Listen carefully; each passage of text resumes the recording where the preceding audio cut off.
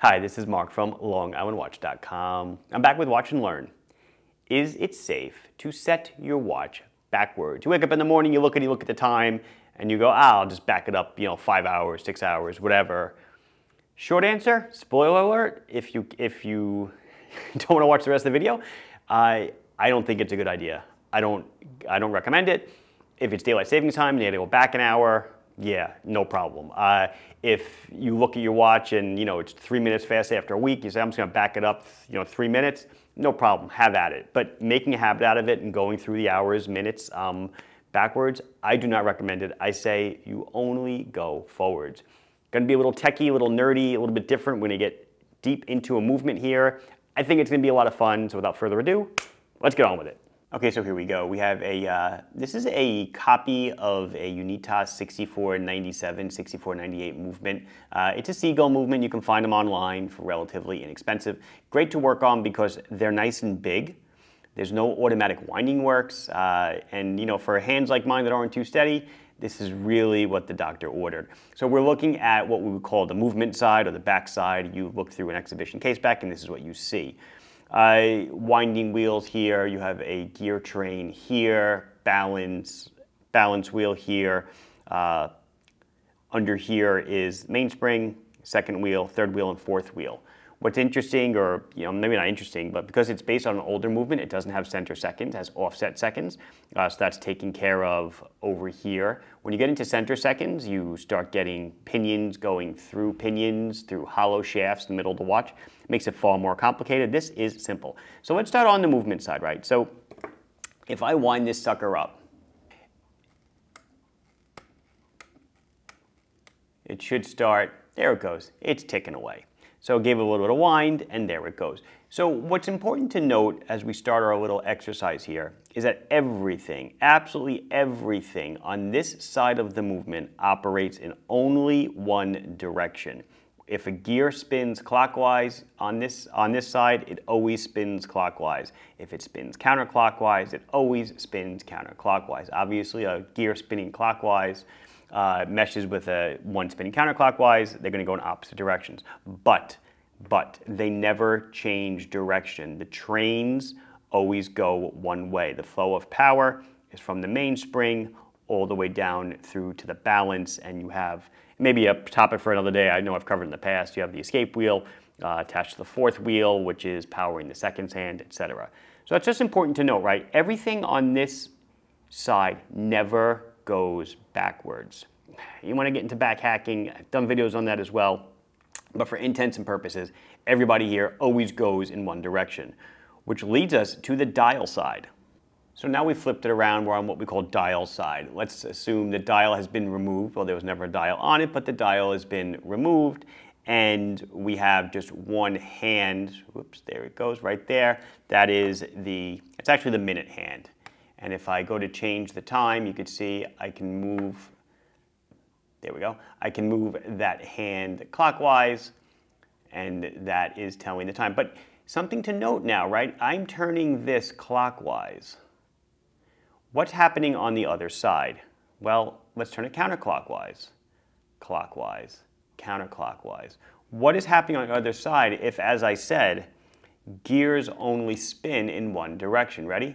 Clockwise, counter. I'm actually moving the, I'm moving the crown with my thumb uh, and forefinger. And absolutely nothing is happening. If you could zoom in really close on that middle gear, uh, the one in the middle of your screen, it is actually rotating. Uh, that's the second wheel, so it's rotating once per hour. Uh, but it's rotating very, very slowly, no matter how much I turn the crown forwards or backwards.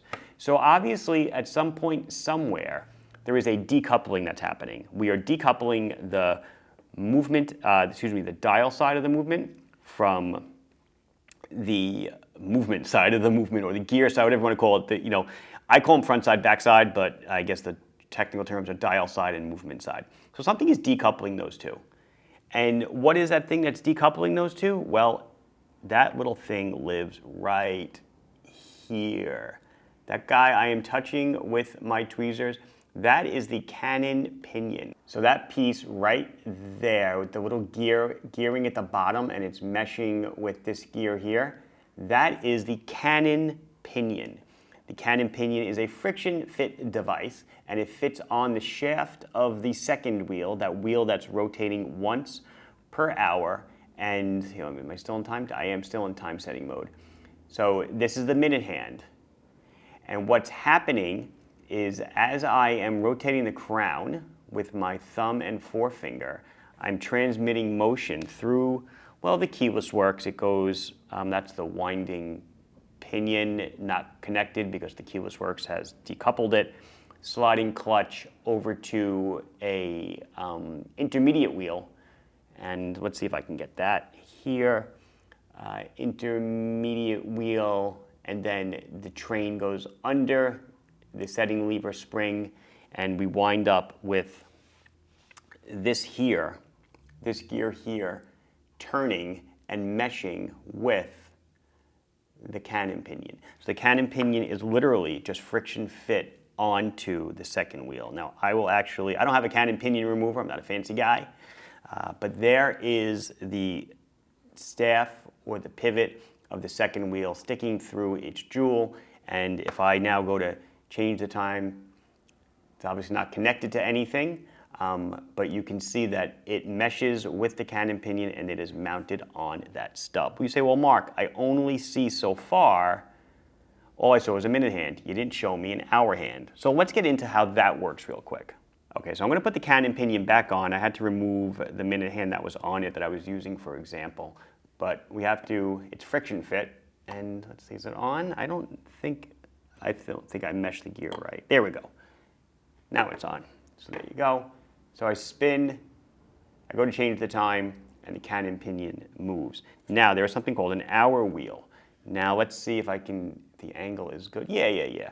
Watch, watch the, backwards. Watch this gear right here. You know, obviously it's part of the bigger gear, but watch that little thing up top. Ready?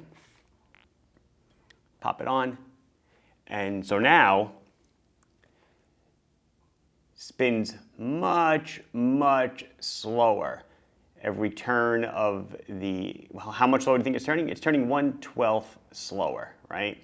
So now you will notice, as I'm spinning it, look here and look down here. You'll see the minute hand, where the minute hand mounts on the second wheel or the, the um, cannon pinion, is moving much faster than the hour wheel would move. Okay, so all of that basically just to talk, just to tell you about, um, I guess I could put hands on, but you don't need it. I think you kind of understand what's going on.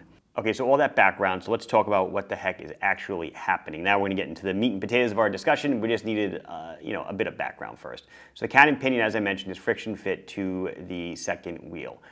The friction is great enough such that uh, as time moves on, as that second wheel spins, it's taking the cannon pinion with it, and with that, it rotates the minute hand, the hour hand, etc. Right? So this rotates, it hits the hour wheel that we took off, uh, and everything is moving forward in a nice progression of time. So let's shelve that for a quick second. So when we're in normal time telling mode, okay, ready? The, the cannon pinion is turning, right? What's it bumping into? It's turning this gear. This gear and this gear are the same, so it's turning that gear. That gear then hits this gear here, and this is what the hour hand is mounted to. My point here is that everything is always moving forwards. Time is always advancing forward. We're never moving these gears backwards. So reason number one, why I say you should not make a habit out of setting your watch backwards is for the same reason I talked about the backside when all the gears are always moving the same direction. These hands, the so-called, uh, these are what, the motion works? Uh, yeah, these are the motion works. Um, they're always hitting each other in the same spot. The gears are always hitting the same faces, uh, and they've just fallen into a rhythm and they're happy. Why move them backwards so that the wear surfaces can change the profile of the gear can change, etc. We're not dealing with, you know, big gears, car engines, anything. These are super duper tiny.